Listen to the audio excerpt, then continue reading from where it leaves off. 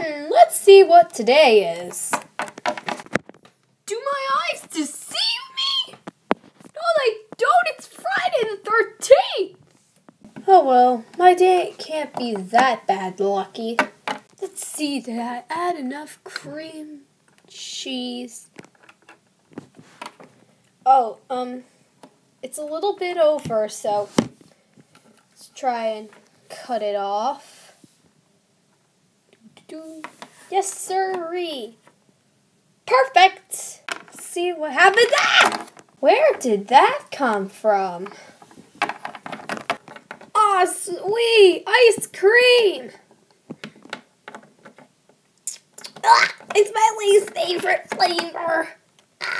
Just a spoonful of sugar helps the medicine go down in the most delightful way. The honey bees that fetch the nectar. Ah, I like this tree. Are you? Are you coming to the tree?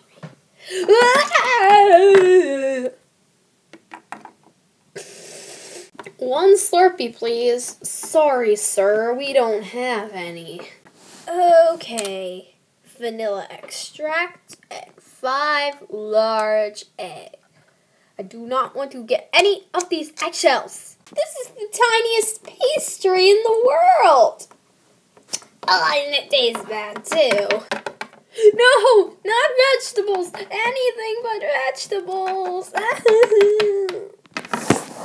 I'm a fruit.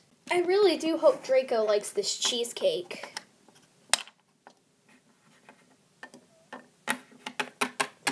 Know what to do. When life gives you lemons, or Friday the 13th in my case, make some lemonade. Oh, yeah. Go make some lemonade. Oh, hi, Draco. I was just pulling out this cake. There we go. It's perfect. And I baked it especially for you. Really? Yeah, it's for Valentine's Day.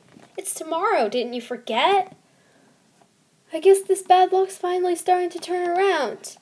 Thank you, Jenna. You're welcome.